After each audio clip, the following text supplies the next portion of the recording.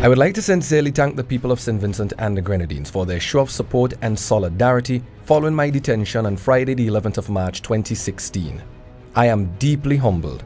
Your expression has further convinced me that the yearning for democracy in governance, respect, and economic empowerment runs deep.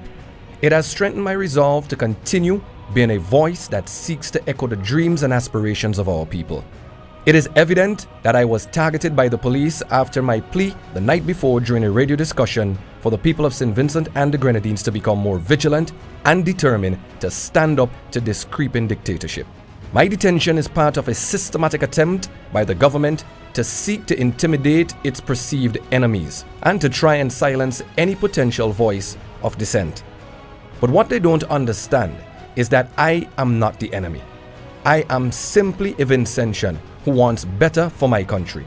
One who has grown tired of standing on the sidelines and watching the moral decay of our country, the growing divide amongst our people, and the hopelessness of our youth. Rather than addressing the issues of offering our people real hope, they have chosen to seek to silence our voices through fear and intimidation. The Ralph Gonsalves administration continues to use a small fraction in the police force as the administration's own element of harassment and repression. Vincentian people must take note, and so too should the rest of the world. Our democracy is at risk. This current challenge that we face must be met with determination and unity. And in the words of one great Caribbean politician, we must move forward on our feet and not on our knees.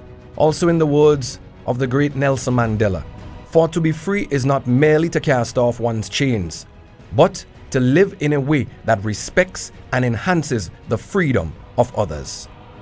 St. Vincent and the Grenadines, stand firm, stand strong, and stand resolute in the face of injustice. My name is Colin Grayham, and I thank you very much.